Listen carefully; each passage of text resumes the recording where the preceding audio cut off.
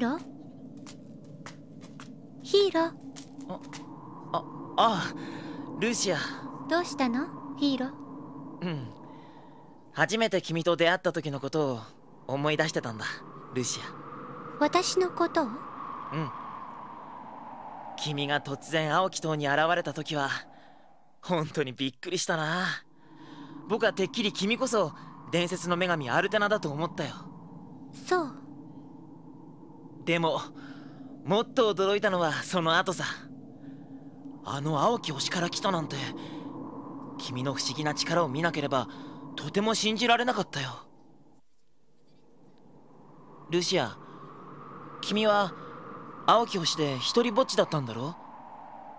一体青き星ってどんな世界なんだい？君は青き星の女神様なのかい？それに君の力を封じたあの。ごめんなさいヒーロー。私があなたに話すべきことはあまりないわ。それはこの世界の人には関係のないことだから。でも僕は君のことが知りたいんだルーシア。そしてこの世界にいっぱいある謎も。だから。ヒーロー！もう何デレデレしてんのよって。いきなりなんだよルビー。ふんだ。何が？僕は君のことが知りたいんだ。よ古い古い古い。古い。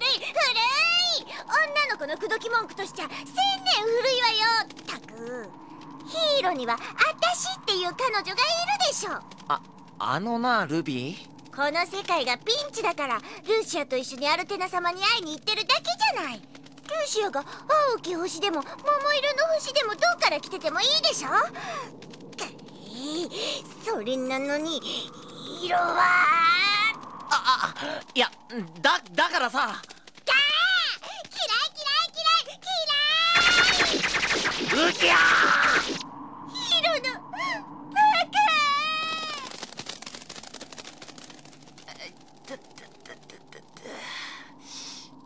ルビーどうしたのかしら？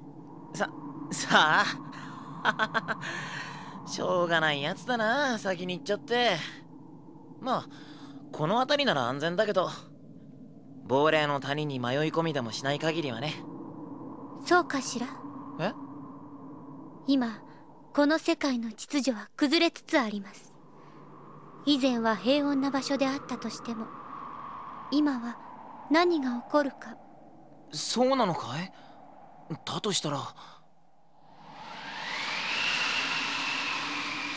おいルビー。勝手に動いたら危ないぞ。たく世話が焼けるやつだな。ルビー一人でうろちょろしてると危ないぞ。お前なんか怪物が出てきたら一口でパックリだぞ。おい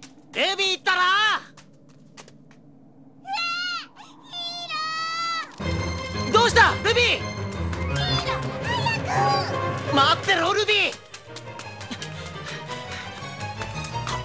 どうしたルビー？ヒーロー見て。オアシスがあるよ。あそこで一休みしてこうよ。ねえねえいいでしょ？あのな。そうね。ちょうどいいわ。休んでいきましょう。あら？